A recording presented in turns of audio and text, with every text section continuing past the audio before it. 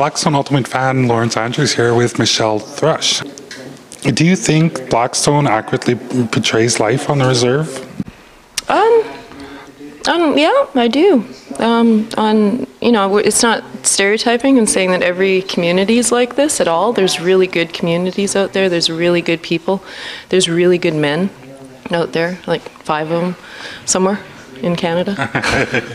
no, there's really good people out there. So, uh, as in you know all TV dramas, there's always you, you you lump a whole bunch of things together to make it dramatic. So you know this isn't completely typical of one community. It's sort of taking bits and pieces from different stories from different communities and putting them together and and you know cre- creating Blackstone out of it.